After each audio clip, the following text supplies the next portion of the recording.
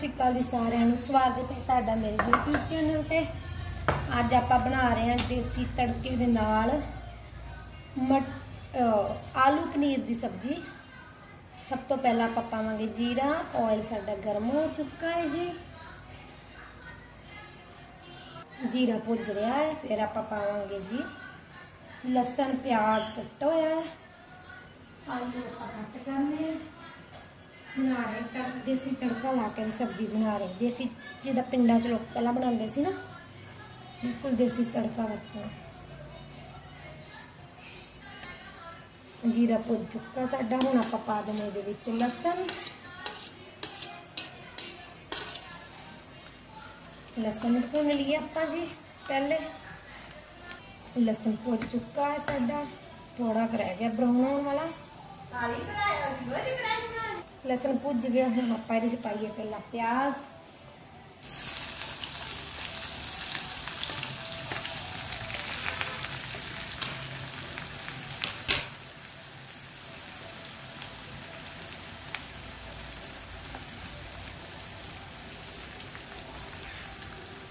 ਪਿਆਜ਼ ਪਾਤਾ ਉਹਨਾਂ ਟਾਈਮ ਇਹ ਫਰਾਈ ਹੋ ਰਿਹਾ ਥੋੜਾ ਭੁੱਜ ਜਾਏਗਾ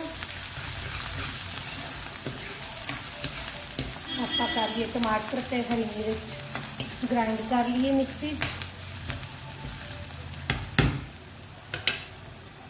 ਇਹਨੂੰ ਆਪਾਂ ਕਰੀਏ ਗ੍ਰਾਈਂਡ ਤਿੰਨ ਹਰੀ ਮਿਰਚ ਤੇ ਇੱਕ ਟਮਾਟਰ ਪਾ ਲਿਆ ਆਪਾਂ ਜੀ। ਇਹਨੂੰ ਗ੍ਰਾਈਂਡ ਕਰ ਲਈਏ।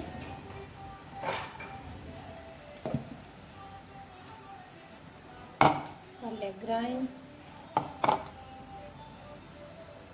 ਇਹਦੇ ਚ ਪਾਉਣੇ ਹੁਣ ਆਪਾਂ ਥੋੜਾ ਨਮਕ, ਸਵਾਦ ਅਨੁਸਾਰ।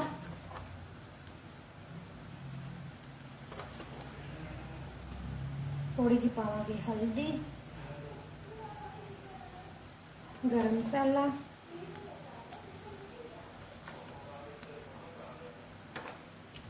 ਇਹ ਕਰ ਦੇਣਾ ਮਿਕਸ ਆਪਾਂ। ਤੇ ਥੋੜੀ ਦੇਰ ਫਿਰ ਆਪਾਂ ਕਰਾਂਗੇ ਟਮਾਟਰ ਐਡ ਵਿੱਚ, ਹਰੀ ਮਿਰਚ ਜੋ ਗ੍ਰਾਈਂਡ ਕੀਤੀ ਹੋਈ ਹੈ।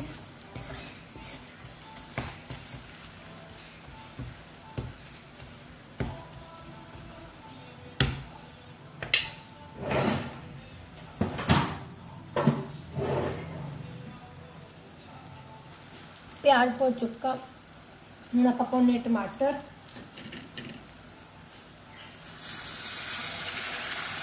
ਟਮਾਟਰ ਆਪਾਂ ਪਾਤਾ ਇਹਨੂੰ। ਪਾਣੀ ਵਿੱਚ ਦੀ ਕੁੱਕ ਹੋਣ ਦਿੰਨੇ ਥੋੜਾ ਪਾਣੀ ਪਾਇਆ ਵਿੱਚ। ਇਹ ਹੋ ਜਾਏਗਾ ਕੁੱਕ, ਫਿਰ ਆਪਾਂ ਪਾਵਾਂਗੇ ਆਲੂ। ਕੁੱਕ ਹੋ ਚੁੱਕਾ, ਹੁਣ ਆਪਾਂ ਇਹ ਚ ਪਾ ਦਈਏ ਆਲੂ।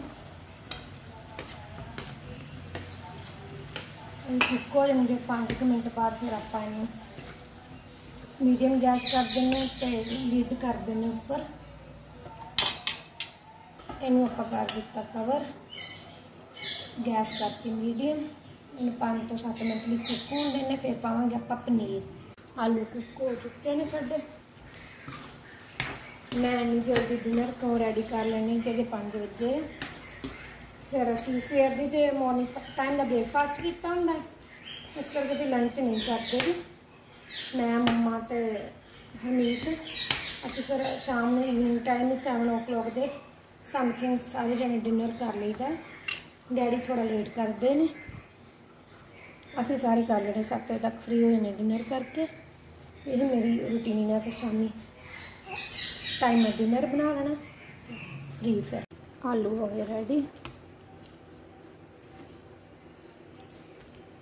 ਚੁਣ ਆਪਾਂ ਕਰਾਂਗੇ ਪਨੀਰ ਐਡ